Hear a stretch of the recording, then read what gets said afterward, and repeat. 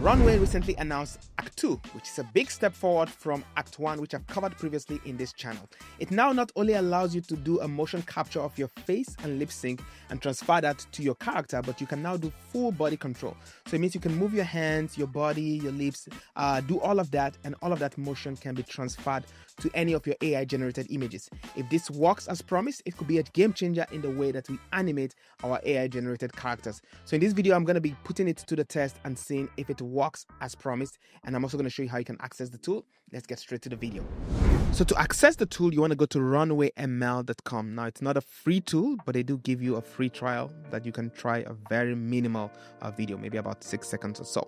So once you're on Runway, you want to get to Act 2. So you click that right here. And right here at the bottom, you can select both an image and a video. I'm going to show you a video in a second, but let's try the image. So I'm going to click on select and upload an image right here and you can see it has detected the character.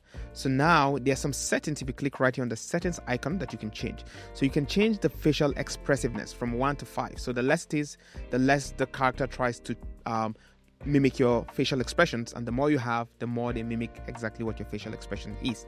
And then you have this new option now also to do the gestures. So whenever you enable this this is when the character would also take whatever motions you have uh, in your body and transfer it uh, to the character itself. So once you have that all set and dialed in you now want to just simply either upload a video which is already recorded that has the uh, motion capture performance, or you can record one from scratch. I have my webcam uh, set up here, and then I'm just gonna go ahead and hit start recording. As you can see, I'm recording and it's capturing both my hand movement, body movement, and even facial expressions. So as I blink my eyes and do all of that, it captures that. Whoa! This is amazing! Whoa! Pitch! So as you can see in that example, it's quite impressive in how well it actually captures uh, your hand movement and body movement into the characters itself. But now I want to put it to the test and actually give it some hard tests to see just how well it performs under different scenarios. We're going to start with a very hard one for most AI videos to do, which is the hands. So it does pretty decent with the hands like you see, but I want to see how well it can actually get the nitty gritties of the fingers. So here's an example. How many fingers do I have? Is it one? Is it two? Is it three? Is it four? Is it five? I think it's five. So I did try about 10 or so inputs, and the best one was the one that I showed you. So it does still struggle uh, with the fingers. In fact, in one of the examples, some random creature just showed up in the hands in place of the fingers. As you can see here, I don't know what that was all about, but um, yeah, AI video generation models still struggle uh, with fingers. Now, I must confess, that was probably a very difficult challenge that I gave it there, which it did not too badly. I would probably give it a 60 70%. I mean, for the most of it, it was able to get back that hand motion. Apart from when I think I said three and then it morphed a little bit there and it couldn't figure out what a finger was. That was a great challenge to give it.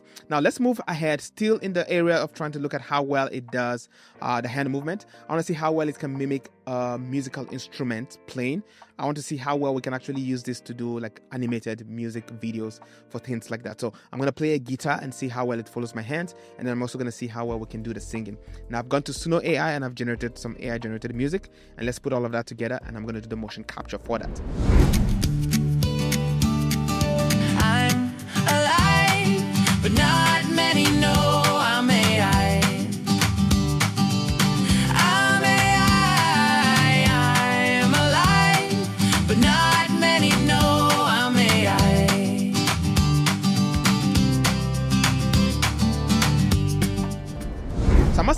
Quite impressed with that. I didn't expect it to do that well, especially if you see the way I was uh, moving my left hand on the guitar and it was actually mimicking that motion. At the time where I was doing the little solo there towards the end and it was actually sort of following along with the hand movement. Uh, that was not bad. That is actually very decent and quite usable. So the only uh, sort of criticism I have for it is that if I zoom in right here, you're gonna see that the hand is really, really muffed off. So to fix that, I used a separate tool by Topaz Lab Astra. I've never covered that in this channel. So it's a creative AI upscaler. So it does the upscaling creatively. So I put it up to Astra, and Astra was able to fix uh, some of those uh, imperfections there in the generations from Runway to make it look better. And at the end, I think what I got was quite a decent um, output that I could use in a project. So quite impressed with the way it did this. I want to play with this a little bit more and see um, how well I could do like music videos and things like that on this, but not bad at all. All right, now that we've tested how well it handles hands, um, it does a decent job, not perfect. I want to see how much of a full body can it actually capture.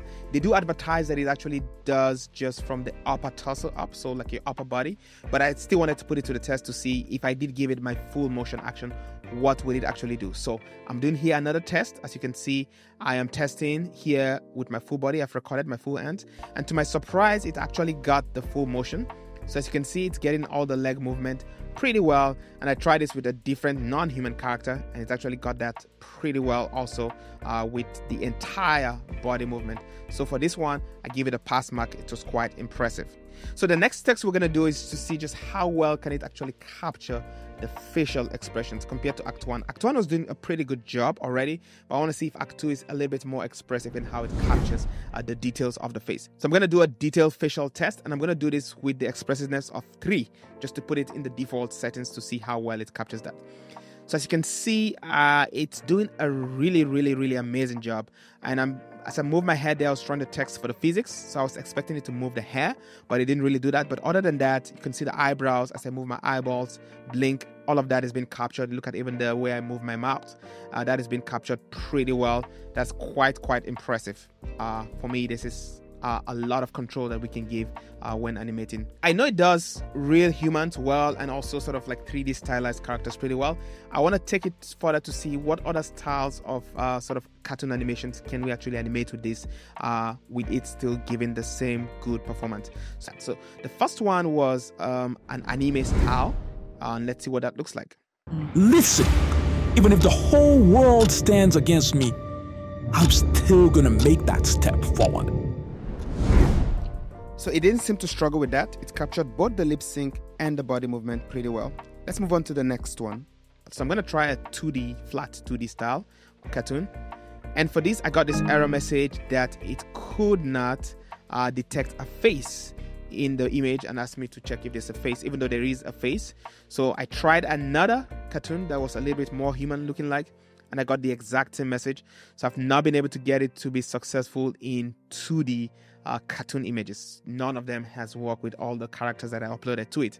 And the same error I also got with a couple of 3D ones, like these two right here. Both of them got me that same error message. And then I went further to try because they do say it can do non-human uh, objects. So next, I'm actually going ahead to go try some non-human objects. So I started with this raccoon here. I got the same message. Could not pick it uh, to actually animate it. And again, I tried with a little dragon right here. Same thing. Um, it could not pick it to animate it.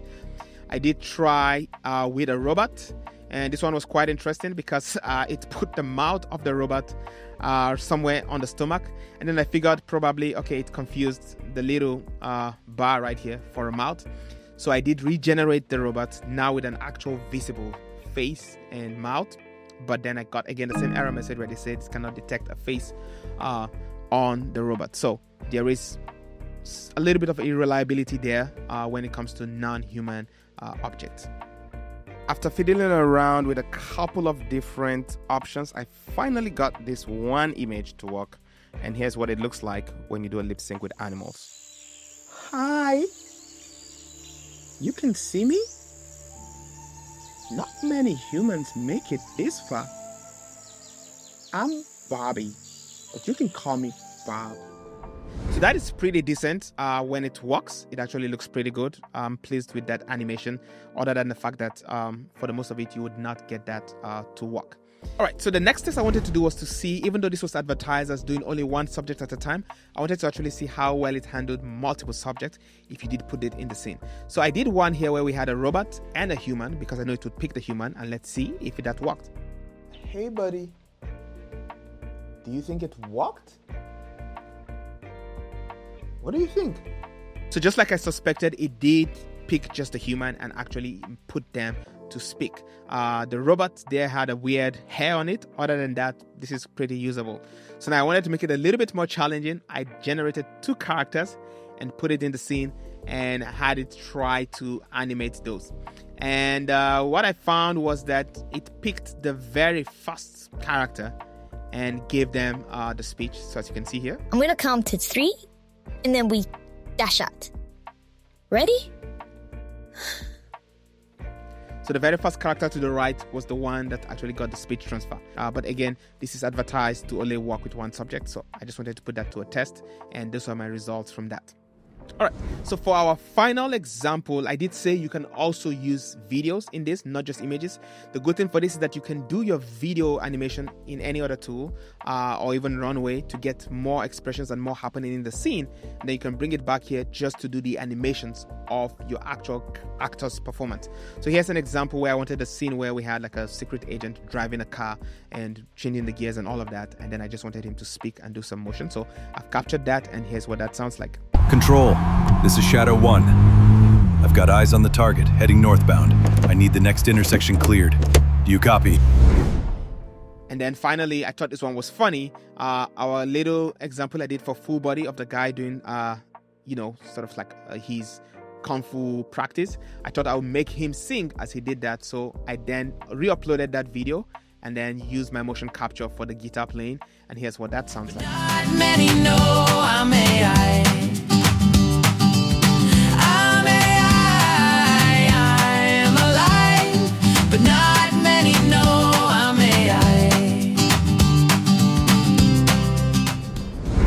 Overall, I want to say I'm quite impressed with the output we're getting from Act 2. Is this the best animation model we have out there today and lip sync? Uh, maybe not. You probably still get a better animations from Google Veo 3, But where Act 2 really shines is in control. The fact that we can now control exactly how the character speaks, when they should do a certain motion. Uh, that's just something that we have no other tool or model that can do that and also give us the lip sync at the same time as we're doing it the way that Act 2 is doing this. So, this is definitely a game changer in the way we animate characters. In fact, I feel like the AI video world and animating tools have gotten to a very matured point that you can tell very compelling uh, stories with the tools that we have out there today. And because of that, I'm working on two videos. One is going to show you if you want to do 3D stylized animations today, where should you start? There's so many tools. Which tools should you use? What's the best workflow? So I'm working on a very long video on that, and I'm also working on one for 2D animations. So those should be coming out pretty soon. If you want to see those, make sure you subscribe to the channel, turn on the notification bell, uh, so that you're notified whenever those come out. And I'm gonna catch you in the next one. Thank you for stopping by. Keep learning. I'm alive, but not many know I'm AI. He's AI? Did you know this? No, I didn't. Did you? No. What's going on? Wait, wait. If he's AI, that means we're AI. Oh my goodness, that's true. I always knew there was something weird about those guys. Who did this? Where's the producer? Oh no, they figured it out. Cut the feed. Cut it now. But, sir, doesn't that mean you're AI too? Wait, what? Stop! Stop!